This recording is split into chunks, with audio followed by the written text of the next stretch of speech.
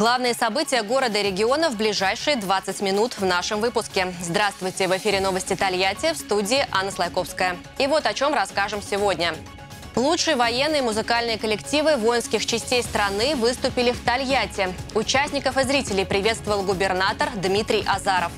Сменить спецодежду на гоночный костюм и сесть за руль спортивного автомобиля. 20 заводчан стали участниками гонки на Кубок президента в Сосновке. Расскажем, как это было. 30 залпов и 350 фейерверков украсят вечернее небо Самары 23 февраля. Артиллеристы Центрального военного округа провели репетицию салюта. Печки, буржуйки, маскировочные сети, теплые вещи, медикаменты, продукты питания и, конечно же, письма детей с теплыми словами и пожеланиями скорейшей победы. Из Тольятти отправлена гуманитарная помощь в зону проведения специальной военной операции. Ее отправки вместе с земляками принял участие губернатор Дмитрий Азаров. Затем глава региона поприветствовал участников и зрителей патриотического музыкального фестиваля «Сильная Россия – это мы». Он посвящен предстоящему Дню защитника Отечества и проводится по инициативе правительства Самарской области и Министерства обороны Российской Федерации. Обо всем по порядку в материале Натальи Лопатиной. Продукты питания, предметы первой необходимости, медикаменты, печи для обогрева, изготовленные студентами тольяттинских колледжей и, конечно же, письма школьников. Все это было собрано неравнодушными жителями региона, ветеранами боевых действий, представителями общественных организаций и молодежных объединений для наших солдат к предстоящему празднику. Для бойцам СВО мы подготовили буржуйки, так называемые печки, чтобы согреть их своей теплотой и душой. Ну давайте, что, начнем грузить. Давай, да. пойдемте.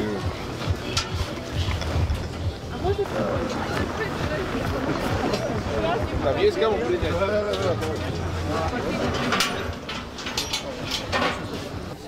Губернатор поблагодарил школьников и студентов колледжа, а также всех неравнодушных жителей Тольятти и области за активное участие в сборе гуманитарной помощи для бойцов. Спасибо всем, кто принимал участие в сборе гуманитарной помощи. Тысячи тонн грузов уже мы отправили в зону СВО. И Тольятти, конечно, активно очень помогает. Все жители включились в эту работу. Да, в эту помощь. Да. Понятно, что это долг святой э, каждого из нас. Все вроде бы есть там для выполнения боевых задач, но лишнего не бывает. И, конечно, и печки пригодятся, и одежда дополнительная, модерование, ну и все, что нужно в быту. Поэтому всем огромная благодарность. Очень важно, что мы формируем запрос э, самих военнослужащих, да, наших героев-защитников, и отправляем именно то, что им надо. А письма детей, конечно, силы добавляет и храбрости нашим бойцам. С другой стороны, знаете, они как защиту дополнительную дают, потому что бывал там не раз, э, парни носят их, мужчины, защитники, у сердца эти письма. И, конечно, они сами по себе являются такими оберегами для наших героев, защитников Отечества. Всем спасибо большое за эту помощь, которую вы оказываете нашим военнослужащим. Она бесценна. Спасибо. В фуру загружены сотни коробок общим весом более 20 тонн. В этот раз много личных посылок от детей, жен, матерей и родственников, тех, кто сегодня стоит на защите Родины. Письма едут отдельно, чтобы здесь не перепутали. Там ребята мы отдельно будем вручать. Соберем их всех вместе, потому что здесь со всей области от детей. И конкретно даже организованы посылки тем бойцам, которые на сегодняшний день выполняют боевую задачу. Вот, поэтому там будет отдельное мероприятие, связанное с тем, что от детей будем передавать лично в руки отцам, мужьям, кто находится сейчас в зоне специальной операции. Ну там все, что можно. Печки, а, дроны, продукты. Что туда нужно нашим солдатам? Все нужно, одежда, питание. Вот этот груз, чтобы порадовать их на 23 февраля. После отправки груза глава региона поприветствовал участников и зрителей патриотического фестиваля «Сильная Россия – это мы».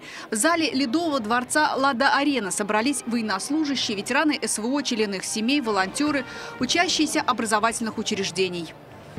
Товарищи офицеры и солдаты, дорогие земляки, примите искренние поздравления с приближающимся праздником. Днем Защитника Отечества. В этот день мы в первую очередь благодарим и поздравляем наших героев, которые с оружием в руках защищают мирное небо над нашей Родиной, над нашей великой и прекрасной Россией, над нашей любимой Самарской областью. Предстоящим праздником собравшихся поздравил и президент «АвтоВАЗа» Максим Соколов. Добрый день, дорогие друзья! От имени многотысячного коллектива «АвтоВАЗа» искренне рад вас приветствовать в канун нашего по-настоящему всенародного праздника Дня защитника Отечества на этом замечательном концерте. В этот же вечер на митинг-концерте глава 63-го региона наградил инициативных жителей, военнослужащих и правоохранителей, а также представителей предприятий региона. Почетные знаки Самарской области за служение людям получили замначальника пункта отбора на военную службу по контракту Алексей Шевкуненко, а также старший инструктор Рафаэль Аляудинов и инструктор Максим Лукашевич. Решением губернатора почетный гражданин Тольятти Николай Личенков награжден знаком за заслуги в наставничестве. Долгие годы он работал на автовазе, заведовал кафедрой машиностроения в Самарском университете, преподавал в Международном институте рынка, а сегодня находится на заслуженном отдыхе. Для него День защитника Отечества – особенный праздник. Это праздник День защитника Родины. Вот. Если ранее мы, э, раньше мы считали этот день советской армии и военно-морского флота, а сегодня по традиции этот праздник перешел. Также национальный праздник для всех граждан России. Это праздник защитников Родины. Дмитрий Азаров поблагодарил творческие коллективы, которые принимают участие в фестивале и радуют своим исполнением жителей региона. Я искренне благодарю оркестры вооруженных сил, наших гостей из Луганска и Перми, которые принимают участие в этом настоящем фестивале оркестров на нашей Самарской земле. Я очень горд тем, что мы собрали выдающиеся военные коллективы здесь, для того, чтобы вместе заявить и волю, и славу вооруженных сил, продемонстрировать нашу поддержку армии. В Самарской области фестиваль стартовал накануне. Артисты, среди которых профессиональные военные музыкальные коллективы воинских частей и подразделений Министерства обороны России, а также исполнители из других регионов страны проехали по малым городам и добрались до Тольятти.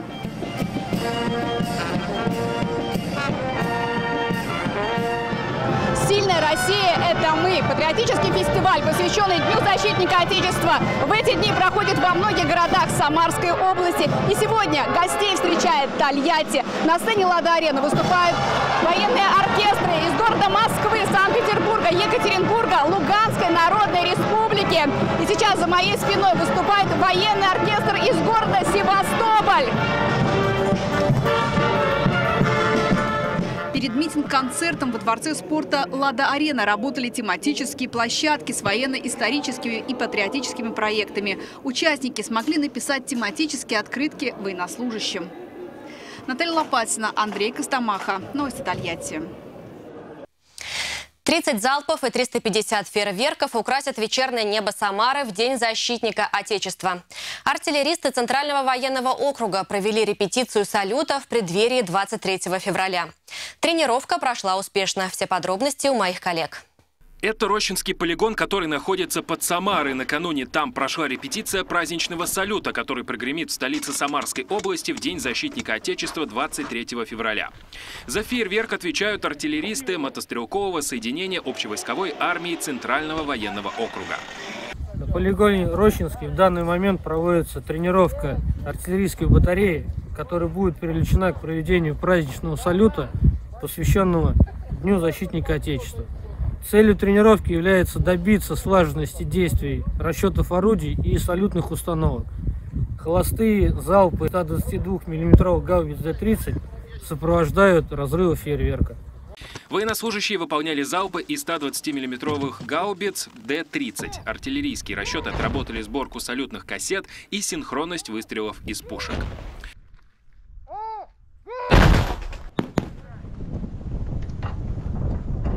Салют состоится вечером в пятницу 23 февраля в 21 час по местному времени. Световое представление пройдет на набережной реки Волги в Самаре. Залпы будут греметь в течение 20 минут. За это время будет совершено 30 залпов из гаубиц, а из салютных установок в небо будет выпущено более 350 фейерверков «Вега Пиасоль». Иван Шумилин, Новости Тольятти. Продолжаем выпуск. АвтоВАЗ начал выпуск опытной партии «Лада Ларгус» в Ижевске. На предприятии «Лада Ижевск», входящем в группу «АвтоВАЗ», начато производство опытной партии «Лада Ларгус». Первыми пятью автомобилями, которые планируется произвести до конца текущей недели, станут коммерческие фургоны. Напомним, что решение о переносе производства «Лада Ларгус» с основной площадки в Тольятти на завод «Лада Ижевск» было принято в конце лета 2023 года. Это необходимо для высвобождения мощностей для выпуска новых моделей на платформе «Лада Веста» в 2024-2026 годах. И теперь к другим темам. События, которые ждали всей семьей автозавода. На полигоне в Сосновке состоялась гонка на Кубок президента. В роли пилотов представители самых разных подразделений завода. Всего участие приняли 21 человек, в том числе и президент компании Максим Соколов. О том, как это было, расскажем в нашем следующем сюжете. Мы вновь здесь, на гонках в селе Сосновка, чтобы в очередной раз насладиться скоростью, драйвом и адреналином. Еще совсем недавно мы встречались на гонке чемпионов, но сейчас повод камернее, можно сказать семейнее. Традиционный кубок президента акционерного общества «АвтоВАЗ».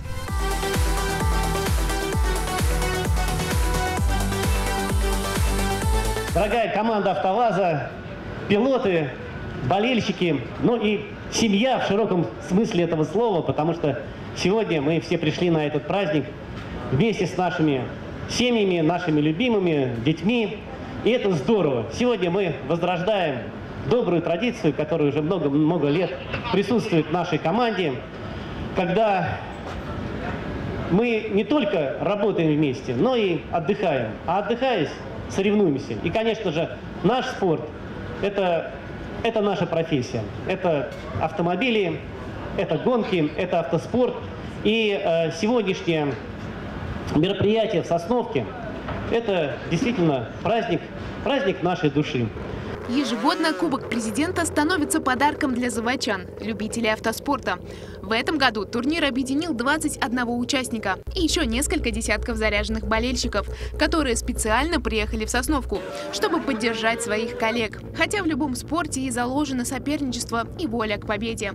На ледовой трассе в большей степени доминировал дух товарищества. Такого рода мероприятия – это всегда и радость общения, и соревновательный дух, и драйв, и адреналин. Адреналина в Сосновке было хоть отбавляй. Ведь сменить рабочую одежду на гоночный костюм и сесть за руль спортивного автомобиля – это редкая возможность. Это и тренировки, и квалификации, и, конечно же, сама гонка в кругу коллег и друзей. Конечно же, гонка президента – это э, традиционное мероприятие, которое в первую очередь направлено на корпоративный дух, на то, чтобы еще раз э, проявить смелость, организационные способности, показать, что не только в работе, но и вот в таких мероприятиях необходимо проявлять определенные мужские качества. Кубок президента объединил представителей самых разных подразделений завода. За штурвал спортивной «Лада Веста» нового поколения сел и сам президент «АвтоВАЗа» Максим Соколов. Динамично, динамично. Только начало, еще вкатываемся, просыпаемся, но уже появляется спортивный азарт. Это, это наша жизнь, поэтому только вперед вместе. Девизом сегодняшнего мероприятия служит фраза из трех мушкетеров. Один за всех и все за одного. АвтоВАЗ – это здоровая атмосфера в коллективе, ведь АвтоВАЗ – это семья. И потратить свой выходное воскресенье – это уж точно не в тягость, а в настоящую радость. Мы приехали, чтобы угостить тольяттинцев и ижевчан очень вкусными блинами, отличной ухой и самыми вкусными шашлыками. Болеем мы за Александра Васильевича Богачева. Это наш генеральный директор. Многие болельщики приезжают на Кубок президента уже не в первый раз. Для них это тоже стало некой традицией, которая объединяет самых разных людей. Каждый год ездим, поддерживаем, участвует наш директор Сергей Владимирович Радченко. С большим удовольствием вот все производство здесь присутствует. Болеем за него. Компания дружная, сплоченная. И профсоюз тут, и администрация, начальники цехов, служб. Все вместе, единым коллективом болеем за нашего любимого директора. Гонка президента пролетела как одно мгновение.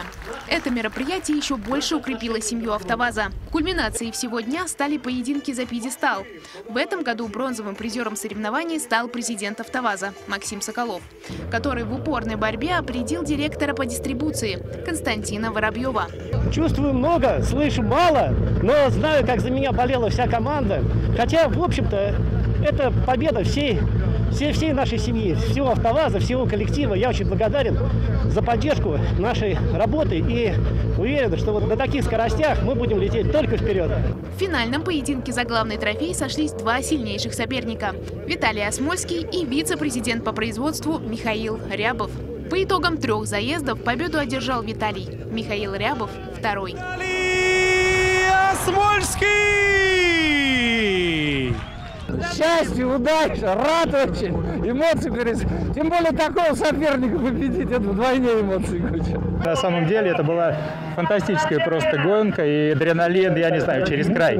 Здорово то, что из трех побед это украшает как бы любую гонку. Здорово все было, спасибо. Александр Савоста, Евгений Черемин. Новости Тольятти.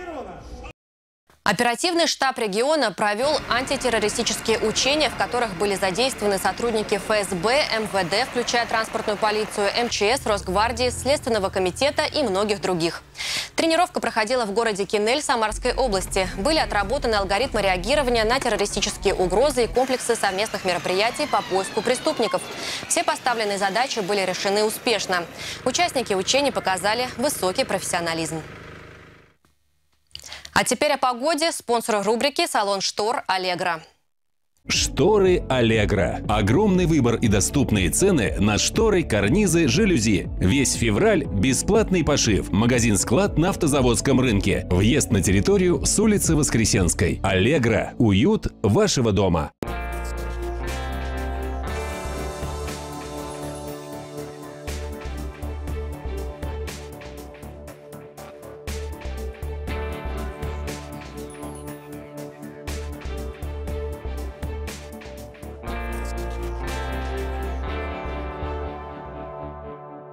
Аптеках Фармленд кэшбэк до 30%. Запомните, в аптеках Фармленд кэшбэк до 30%. Приходи, покупай, экономь в аптеках Фармленд. Телеканал Тольятти 24. Смотрите и слушайте в нашем телеграм-канале, а также во всех популярных соцсетях. Новости, прямые трансляции, интервью, фильмы, сериалы. Телеканал Тольятти 24. Всегда самое важное и интересное. Это телевидение родного города. В студии работала Анна Слайковская. До встречи в эфире.